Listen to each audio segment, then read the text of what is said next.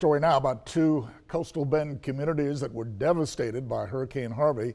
But today, Woodsboro and Refugio are another step closer to recovery. Thanks to some grant money, those towns now have new homes for their volunteer fire departments. Our Rudy Trevino reports.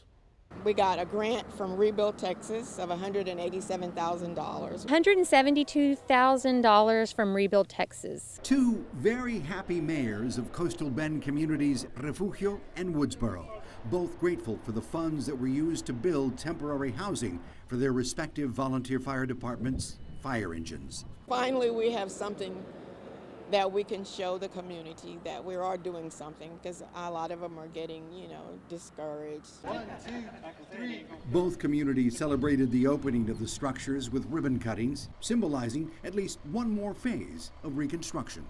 Well, ever since the storm, we've just been in an uproar because took the roof off the station. Every, all of our equipment in there got destroyed. All of our bunker gear, um, air packs, all that. While the two three bay structures are appreciated by residents, there was a mutual statement by most there. Still, lots more to do.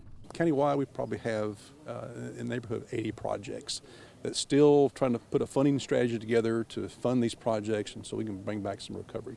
A drive through Woodsboro neighborhood shows tarps still cover roofs, homes and businesses in disrepair. And today, that town's mayor says it could be a very long time before they fully recover. I've been back and forth to Austin several times, and they're saying five to seven years.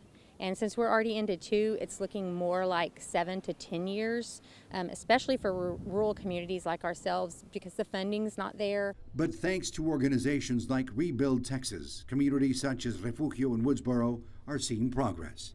Thanks to the Michael and Susan Dell Foundation, who are part of Rebuild Texas, the philanthropy will continue. We're working on projects in Rockport, um, the Aransas Pass Water Tower. So we've got a, a lot of projects going in and around the coastal bend that we're really excited about. Rudy Trevino, 3 News.